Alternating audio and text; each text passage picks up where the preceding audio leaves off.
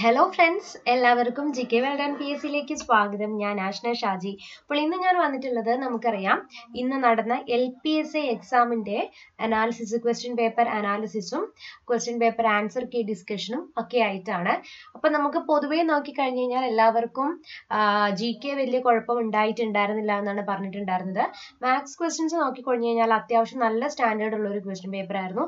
ഒരു പത്ത് മുതൽ പതിനഞ്ച് മാർക്ക് വരെ സ്കോർ ചെയ്തിട്ടുള്ള ഒരു സ്റ്റുഡന്റ് എന്ന് പറയുന്നത് അത്യാവശ്യം നല്ല സ്റ്റാൻഡേർഡ് ഉള്ള ഒരു സ്റ്റുഡന്റ് ആയിരിക്കും. മാത്സ് മാത്സിന്റെ സ്പെഷ്യൽ കേസ് ആണ് പറഞ്ഞത്. നല്ല സ്റ്റാൻഡേർഡ് ഉള്ള ക്വസ്റ്റ്യൻസ് ആയിരുന്നു. മാത്രമല്ല നല്ലപോലെ ടൈം കൺസ്യൂമിങ് ചെയ്യുന്ന ഒരു ടൈപ്പ് സെറ്റ് ഓഫ് ക്വസ്റ്റ്യൻസ് ആയിരുന്നു നമുക്ക് തന്നിട്ടുണ്ടായിരുന്നത്. അപ്പോൾ ആദ്യമേ മാത്സ് ചെയ്യാൻ നിന്നൊരു കുട്ടിയാണ് എങ്കിൽ നിങ്ങൾക്ക് തീർച്ചയായിട്ടും ഒന്നിനും ബാക്കി ഒന്നിനും ആൻസർ ചെയ്യാനുള്ള സമയം കിട്ടി എന്ന് വരില്ല. ലാസ്റ്റ് വെച്ചിട്ടുള്ള സ്റ്റുഡൻസ് ആണെങ്കിൽ നിങ്ങൾ ചെയ്യുന്നത് ഏറ്റവും നല്ലൊരു കാര്യമാണ് മാത്സ് അവസാനം വെച്ചിട്ടുണ്ടെങ്കിൽ നിങ്ങൾക്ക് ബാക്കിയുള്ള ക്വസ്റ്റ്യൻസ് ഒക്കെ വർക്കൗട്ട് ചെയ്യാനായിട്ട് പറ്റും. പിന്നെ പൊതുവെ എക്സാം അനാലിസിസ് നോക്കിക്കഴിഞ്ഞാൽ കൂടുതലായിട്ടുള്ള ക്വസ്റ്റ്യൻസും കറണ്ട് അഫയേഴ്സിൽ നിന്നായിരുന്നു അല്ലെ? കറണ്ട് അഫയേഴ്സ് ധാരാളം ഉണ്ടായിരുന്നു. ദെൻ കമ്പാരിറ്റീവ്ലി യു പി വെച്ച് നോക്കുമ്പോൾ ഇത് first time L P exam ആദ്യമായിട്ട് എഴുതുന്നവരുണ്ടാവും. ചിലവരെ യു പി എഴുതിയ കുട്ടികളും കൂടെ ഉണ്ടാകും ഇതിന്റെ കൂടെ തന്നെ. അപ്പോൾ പൊതുവെ യു പി മാത്സ് ആയിരുന്നു കുറച്ചുകൂടെ എളുപ്പമെന്ന് കുറച്ച് ഉദ്യോഗാർത്ഥികൾ പറയുന്നുണ്ടായിരുന്നു. മാത്രമല്ല എൽ പി യു പി വെച്ച് നോക്കുമ്പോൾ യു പി എൽ പി വലിയ ടഫ് ആയിട്ടുള്ള ക്വസ്റ്റ്യൻ പേപ്പർ ആയിരുന്നില്ല. എന്നാൽ ഒരു ആവറേജ് ലെവലിൽ ഉള്ള ഒരു ക്വസ്റ്റ്യൻ പേപ്പർ ആയിരുന്നു. മാത്രമല്ല പൊതുവെ ഒരു കുറച്ചു പേർക്ക് എല്ലാവരും പറയുന്നത് ഒരു അൻപത് മുതൽ അറുപത് മാർക്കിനിടയിൽ സ്കോർ ചെയ്യാനായിട്ട് സാധിച്ചിട്ടുണ്ടെന്നാണ് പറഞ്ഞിട്ടുണ്ടായിരുന്നത്. സോ നമുക്കൊരു കട്ട് ഓഫ് ഇതിനിടയിൽ തന്നെ എക്സ്പെക്ട് ചെയ്യാനും സാധ്യമാണ്. അപ്പൊ നമ്മളൊരു ഗസ് ആണ് പറയുന്നത്. P S C officially announce ചെയ്തിട്ടൊന്നുമില്ല. അപ്പൊ നമ്മളൊരു ഗസ് പറയുന്നത് ഒരു അൻപതിന് അറുപതിന് ഇടയ്ക്കൊക്കെ കട്ട് ഓഫ് വരാനുള്ള സാധ്യതയും ഉണ്ട് ഓക്കെ അപ്പൊ നമുക്ക് ഇതിന്റെ ആൻസർ ഒക്കെ ഡിസ്കസ് ചെയ്തിട്ട് ബാക്കിയുള്ള കാര്യങ്ങൾ കൂടി പറയാം. അപ്പൊ ഒന്നാമത്തേത് ഞാൻ എടുത്തിരിക്കുന്നത് ആൻസ് ക്വസ്റ്റ്യൻ പേപ്പർ കോഡ് ഏടെയാണ് കേട്ടോ.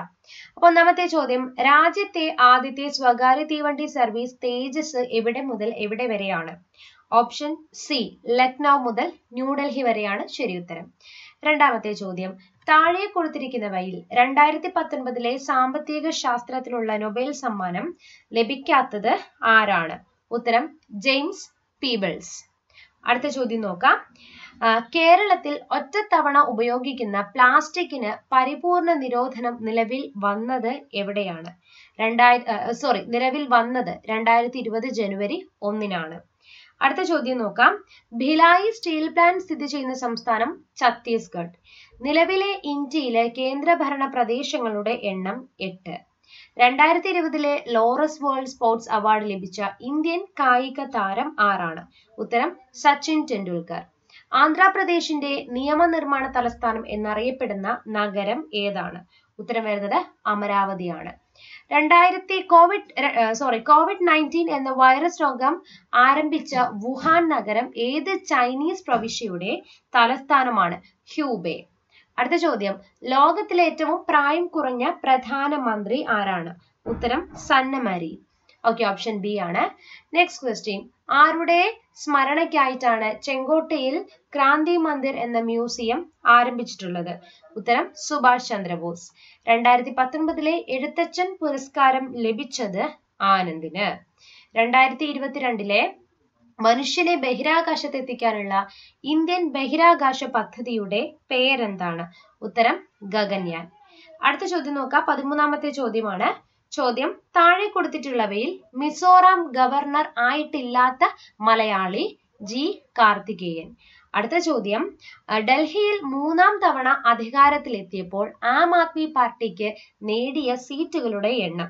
ഇതൊക്കെ കുറച്ച് നമ്മൾ ആരും ശ്രദ്ധിക്കാത്ത അല്ലെങ്കിൽ ഓർത്തിരിക്കാത്ത ടൈപ്പ് ക്വസ്റ്റ്യൻ ആണ്. അറുപത്തിരണ്ടാണ് ഉത്തരം വരുന്നത്. അല്ല കുറച്ച് പെട്ടെന്ന് നമ്മൾ ശ്രദ്ധിക്കാതെ പോകുന്ന ടൈപ്പ് ക്വസ്റ്റ്യൻ ആണ് കേട്ടോ. എത്രയാണ് സീറ്റുകളുടെ എണ്ണം എന്നൊക്കെ ചോദിക്കുന്നത്.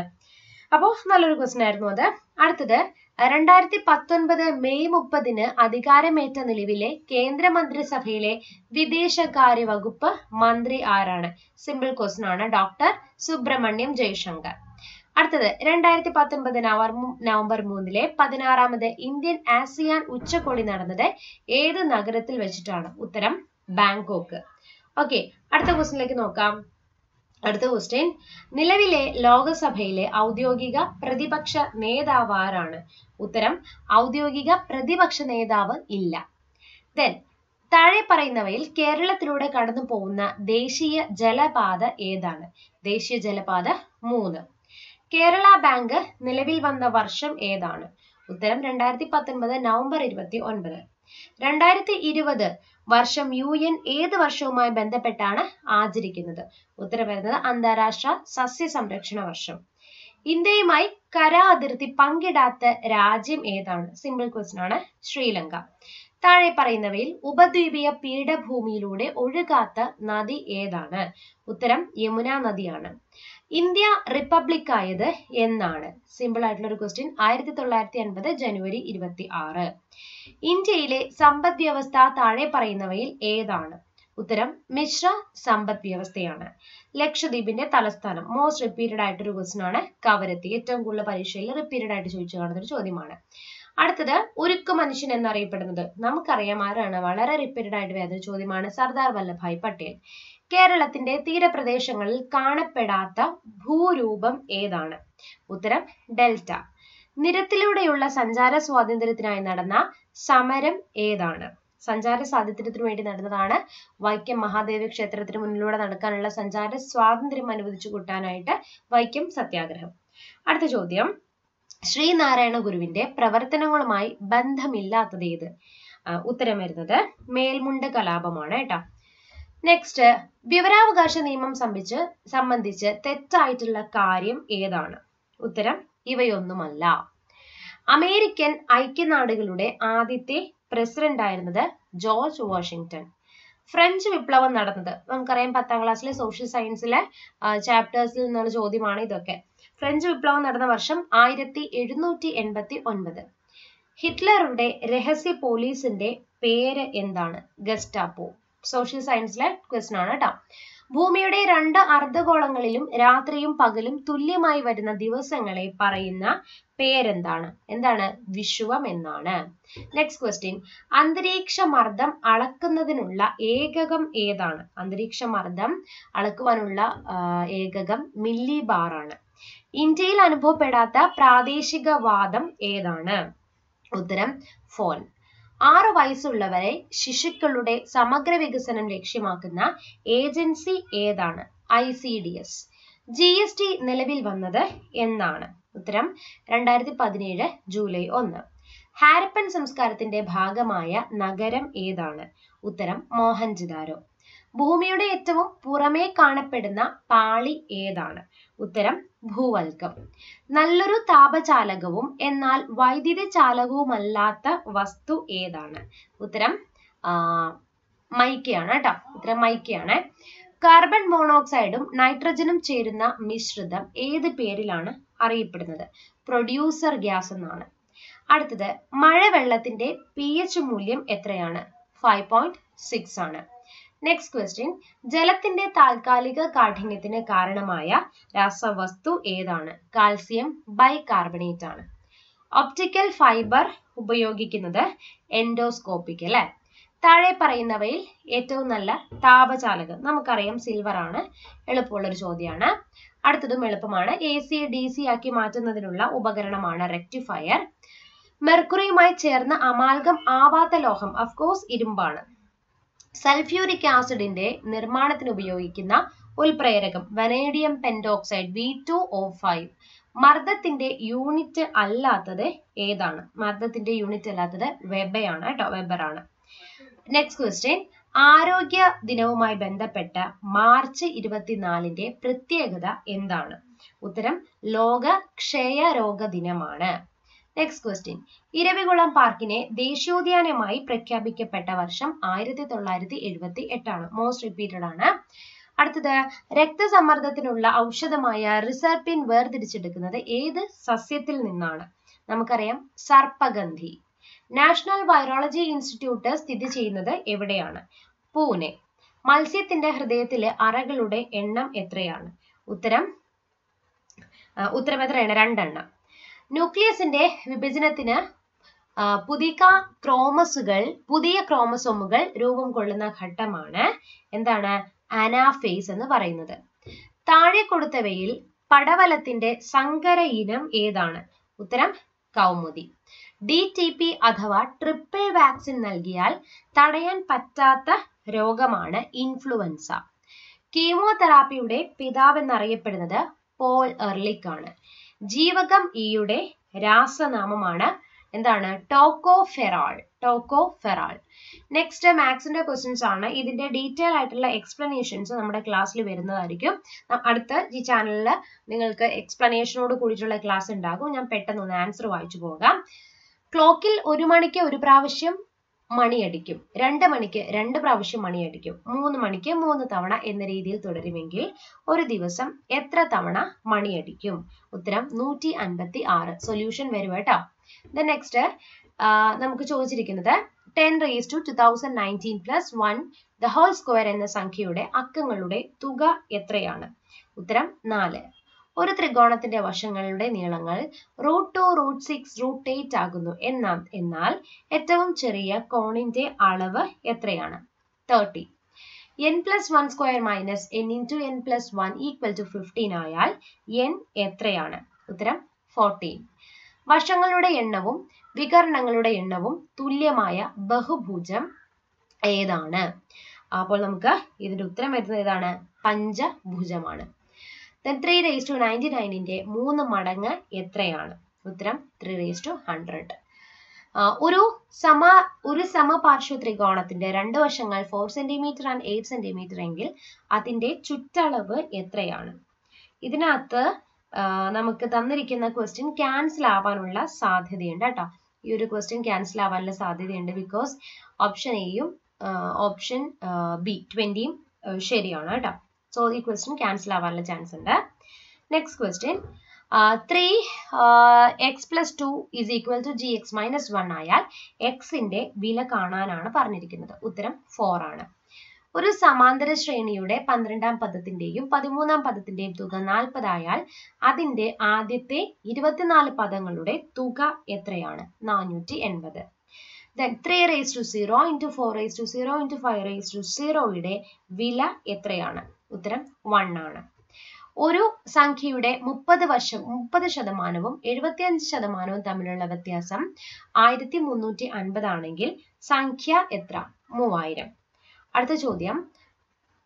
Two is two two six twelve thirty dash ഈ ശ്രേണിയിലെ അടുത്ത പദം എന്ന് പറയുന്നത് നാൽപ്പത്തിരണ്ട് X is two X raise to Y equal to three raise to four then Y is two Z is equal to three raise to five ആയാൽ X raise to Y raise to Z എന്ന് പറയുന്നത് എത്രയായിരിക്കും?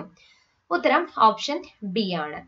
പതിനഞ്ച് metre നീളമുള്ള ഒരു ഏണി ഭിത്തിയിൽ ചാരി വെച്ചിരിക്കുന്നു. ഏണിയുടെ ചുവട് ഭിത്തിയിൽ ഒൻപത് മീറ്റർ അകലെയാണ് എങ്കിൽ ഏണിയുടെ മുകളിലെ അറ്റം നിലത്ത് നിന്ന് എന്തുയരത്തിലാണ് വരുന്നത്? ഉത്തരം വരുന്നത് പന്ത്രണ്ട് മീറ്റർ ആണ്. Point zero zero zero one ഫൈവിനെ ഏത് സംഖ്യ കൊണ്ട് കരിച്ച ഹരിച്ചാൽ പതിനഞ്ച് കിട്ടും.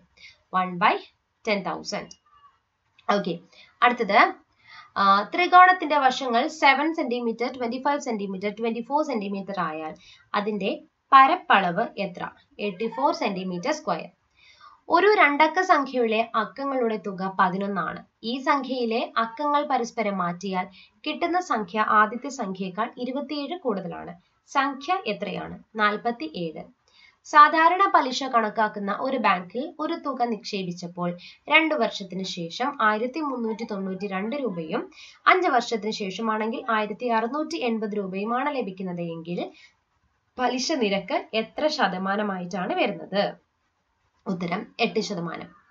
ഒരു അധ്യവർഷത്തിൽ അൻപത്തിമൂന്ന് ഞായറാഴ്ചകൾ വരാനുള്ള സാധ്യത എത്രയാണ്? ടു ബൈ സെവൻ മൂന്ന് സംഖ്യകളിൽ രണ്ടാമത്തെ സംഖ്യ ആദ്യത്തെ സംഖ്യയുടെ രണ്ടിരട്ടിയും മൂന്നാമത്തെ സംഖ്യയുടെ മൂന്നിരട്ടിയുമാണ്. ഈ സംഖ്യകളുടെ ശരാശരി അൻപത്തഞ്ചാണ് എങ്കിൽ അവയിലെ ചെറിയ സംഖ്യ എത്രയാണ്? ഉത്തരം ഓപ്ഷൻ സി തേർട്ടി നെക്സ്റ്റ് നമുക്ക് സൈക്കോളജിയിലേക്ക് പോവാം കേട്ടോ താഴെ നൽകിയിരിക്കുന്ന പ്രസ്താവനകളിൽ വികാസത്തിന്റെ സവിശേഷതകളിൽ ഉൾപ്പെടാത്തത് ഏതാണ്? ഉത്തരം ഓപ്ഷൻ സി. പ്രക്ഷേപണ തന്ത്രങ്ങളിൽ ഉൾപ്പെടാത്തത് ഏതാണ്? ഉത്തരം ഓപ്ഷൻ ബി. വായനാ പരിശീലനത്തിനായി വൈഗോഡസ്കിയുടെ ആശയങ്ങളും അടിസ്ഥാനത്തിൽ ആവിഷ്കരിച്ച രീതി ഏതാണ്? ഉത്തരം ഓപ്ഷൻ സി. ജെ പി ഗിൽഫോർഡിന്റെ ബുദ്ധിയുടെ ത്രിമാന മാതൃകയുടെ അടിസ്ഥാനത്തിൽ കണ്ടൻസ് എന്ന വിഭാഗത്തെ ഉൾപ്പെടാത്തത് ഏതാണ്? ഉത്തരം ഓപ്ഷൻ എ നിർദ്ദേശക രഹിത കൗൺസിലിന് സമീപനത്തിന്റെ പ്രയോക്താവ് ആരാണ്? ഉത്തരം കാൾ റോജേഴ്സ്. നെക്സ്റ്റ് ക്വസ്റ്റ്യൻ താഴെ പറയുന്നവയിൽ സാമൂഹ്യജ്ഞാന നിർമ്മി നിർമ്മിതി വാദത്തിന്റെ സോഷ്യൽ കൺസ്ട്രക്റ്റിവിസം പിൻബലം ഇല്ലാത്ത പഠന രീതി ഏതാണ്? ഉത്തരം ഓപ്ഷൻ സി ആവർത്തിച്ച് ഒരു വിട്ട് പഠിക്കൽ. നെക്സ്റ്റ് ക്വസ്റ്റ്യൻ നോക്കാം. പിയാഷയുടെ വൈജ്ഞാനിക വികാസഘട്ട സിദ്ധാന്തം അനുസരിച്ച് സചേതന ചിന്ത കേന്ദ്രീകരണം എന്നിവ ഏത് വൈജ്ഞാനിക വികാസഘട്ടത്തിന്റെ സവിശേഷതകളാണ്? ഓപ്ഷൻ ബി ആണ് ശരി ഉത്തരം വരുന്നത്. പ്രാക് മാന്യോപാര ഘട്ടം. നെക്സ്റ്റ് ക്വസ്റ്റ്യൻ നോക്കാം. ഇന്റഗ്രേറ്റഡ് അപ്രോച്ച് മനഃശാസ്ത്ര അടിത്തറയായി പരിഗണിക്കാവുന്ന ചിന്തധാര ചിന്താധാര ഏതാണ്? Option D. നെക്സ്റ്റ് നോക്കാം. ഇലക്ട്രോ കോംപ്ലക്സ് ഏത് മാനോ ലൈംഗിക വികാസ ഘട്ടത്തിലാണ് പ്രകടിപ്പിക്കപ്പെടുന്നത്? ഉത്തരം ഫാലിക് സ്റ്റേജ് നെക്സ്റ്റ് സർഗാത്മകതയുടെ അല്ലെങ്കിൽ ക്രിയേറ്റിവിറ്റിയുടെ അടിസ്ഥാനം എന്ന് വിശേഷിപ്പിക്കുന്ന ചിന്താ പ്രക്രിയ ഏതാണ്? ഉത്തരം സോറി ഡൈവേർജൻ തിങ്കിങ് സാമൂഹിക സൂക്ഷ്മദർശിനി എന്ന് വിശേഷിപ്പിക്കുന്നത് ഏത് മനഃശാസ്ത്ര പഠന രീതിയെയാണ് ഉത്തരം കേസ് സ്റ്റഡി ഡെവലപ്മെന്റൽ ടാക്സ് എന്ന ആശയം അവതരിപ്പിച്ചത് ആരാണ്? ഉത്തരം റോബർട്ട് ഹാവിങ്സ്. നെക്സ്റ്റ് പ്രശ്ന പരിഹരണ രീതിയുടെ ഘട്ടങ്ങൾ ശരിയായിട്ടുള്ള ക്രമകരണം ഏതാണ്? ഉത്തരം വരുന്നത് ഓപ്ഷൻ ബി എബ്രഹാം മാസ്ലോയുടെ ആവശ്യങ്ങളുടെ ശ്രേണി അല്ലെങ്കിൽ ഹൈറാർക്കി ഓഫ് നീഡ്സിന്റെ അടിസ്ഥാനത്തിൽ താഴെ പറയുന്ന ആവശ്യങ്ങളിൽ ഏറ്റവും പ്രാഥമികമായ ആവശ്യം ഏതാണ്? ഉത്തരം സുരക്ഷിതത്വം. ഒരു കാർഡിന്റെ ഒരു വശത്ത് മാമ്പഴത്തിന്റെ ചിത്രവും മറുവശത്ത് മാംഗോ എന്നും എഴുതിയ ഒരു പഠനോപകരണം ടീച്ചർ ക്ലാസ്സിൽ ഉപയോഗിക്കുന്നു. ഈ പഠനോപകരണം ഏത് പഠന സിദ്ധാന്തത്തിന്റെ അടിസ്ഥാനത്തിൽ തയ്യാറാക്കിയതാണ്? ഉത്തരം വരുന്നത് ഓപ്ഷൻ ഡി ആണ് കേട്ടോ അനുബന്ധ സിദ്ധാന്തമാണ്. നെക്സ്റ്റ് ക്വസ്റ്റ്യൻ ഇമോഷണൽ ക്വഷ്യന്റ് എന്ന ആശയം അവതരിപ്പിച്ചത് ആരാണ്? ഉത്തരം ഓപ്ഷൻ ബി ഡാനിയൽ ഗോൾമാൻ. കുട്ടികളിൽ ചിന്തയും ഭാഷയും ഒരുമിച്ച് വികസിക്കുന്നത് രണ്ടും വ്യത്യസ്തമായ വികാസ ഘട്ടങ്ങളിലൂടെയാണ് കടന്നു പോകുന്നത് ഭാഷാ വികാസം സംബന്ധിച്ച ഈ കാഴ്ചപ്പാട് ആരുടേതാണ്? ഉത്തരം ഓപ്ഷൻ സി തന്റെ താല്പര്യത്തിന് അനുസരണമായി നിയമങ്ങൾ അനുസരിക്കുകയോ ലംഘിക്കുകയോ ചെയ്ത വ്യക്തി കോൾബർഗിന്റെ സാൻമാർഗിക വികാസഘട്ട സിദ്ധാന്തം അനുസരിച്ച് ഏത് ഘട്ടത്തിലാണ് ഉൾപ്പെടുന്നത്? ഉത്തരം വരുന്നത് ഓപ്ഷൻ സി ആദ്യ ബാല്യ അല്ലെങ്കിൽ ഏർലി ചൈൽഡ്ഹുഡിലെ ഡെവലപ്മെന്റൽ ടാസ്കുകളിൽ ഉൾപ്പെടാത്തത് ഏതാണ്? ഉത്തരം നടക്കാൻ പഠിക്കൽ. നെക്സ്റ്റ് ക്രിയാ ഗവേഷണത്തിന്റെ അല്ലെങ്കിൽ ആക്ഷൻ റിസർച്ചിന്റെ ഉപജ്ഞാതാവ് ആരാണ്? ഉത്തരം സ്റ്റീഫൻ എം. കോറി. ഓക്കെ അപ്പോൾ ഇന്നത്തെ ക്ലാസ്സിൽ നമ്മൾ ഡിസ്കസ് ചെയ്തിട്ടുണ്ടായിരുന്നത് യു എൽ പി എക്സാമിന്റെ എൽ പി എസ് എക്സാമിന്റെ ആൻസർ കീ ആണ്. അതോടൊപ്പം തന്നെ എക്സാം വിശകലനം ചെയ്യുമ്പോൾ ജി കെ അത്യാവശ്യം സിമ്പിൾ ആയിരുന്നു വലിയ കുഴപ്പം ഉണ്ടായിരുന്നില്ല. അതോടൊപ്പം സയൻസ് നമുക്ക് വലിയ കുഴപ്പമായിട്ട് തോന്നിയിട്ടുണ്ടായിരുന്നില്ല. ദെൻ കുറച്ച് കറണ്ട് അഫയേഴ്സ് കൂടുതലായിട്ട് ചോദിച്ചിട്ടുണ്ടായിരുന്നു. അതോടൊപ്പം തന്നെ നമുക്ക് മാത്സ് അത്യാവശ്യം സ്റ്റാൻഡേർഡുള്ള ക്വസ്റ്റ്യൻസ് ആയിരുന്നു. സൈക്കോളജി സ്റ്റുഡൻസിന്റെ അഭിപ്രായം നോക്കുവാണെങ്കിൽ വലിയ കുഴപ്പം ഉണ്ടായിരുന്നില്ല. ചിലവർക്ക് U P S A maths ആയിരുന്നു എളുപ്പമായിട്ട് വരുന്നത്. എന്നാലും കമ്പാരിറ്റീവ്ലി വലിയ കുഴപ്പമില്ലാത്ത ഒരു ക്വസ്റ്റ്യൻ പേപ്പർ ആയിരുന്നു. ഒരു ആവറേജ് അൻപത് മാർക്കിനും അറുപത് മാർക്കിനും ഇടയിൽ തന്നെ ഉദ്യോഗാർത്ഥികൾക്ക് എല്ലാവർക്കും തന്നെ കൂടുതലായിട്ടുള്ള ഉദ്യോഗാർത്ഥികൾക്ക് മാർക്ക് സ്കോർ ചെയ്യാൻ പറ്റിയിട്ടുണ്ട്. പിന്നെ നമ്മൾ നോക്കിക്കഴിഞ്ഞാൽ നമുക്ക് കട്ട് ഓഫും ഇതിനിടയിൽ പ്രതീക്ഷിക്കാം. അപ്പം മാത്രമല്ല നമ്മൾ യു പി വെച്ച് കമ്പയർ ചെയ്യുമ്പോൾ എൽ പി രണ്ടും എക്സാം നോക്കുമ്പം എഴുതാനുള്ള ഉദ്യോഗാർത്ഥികൾ കുറച്ച് കുറവായിരിക്കും. മാത്രമല്ല ഈ ഒരു എക്സാമിന് നമ്മുടെ ഗവൺമെന്റ് അല്ലെങ്കിൽ എക്സാം പി എസ് സിക്ക് ഒരുപാട് ടീച്ചേഴ്സിനും ആവശ്യമുണ്ട്. അതുകൊണ്ട് തന്നെ കട്ട് ഓഫ് വലിയ ഉയർന്നു പോകാനുള്ള ചാൻസും ഇല്ല.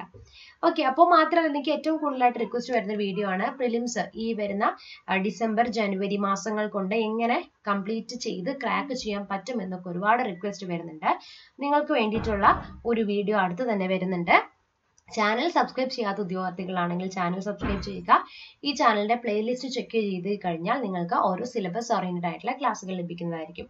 അപ്പോൾ ഇതുപോലുള്ള ഇൻഫോർമേറ്റീവ് ആയിട്ടുള്ള വീഡിയോസുമായിട്ട് ഞാൻ വീണ്ടും വരുന്നതായിരിക്കും. Chill then bye and thank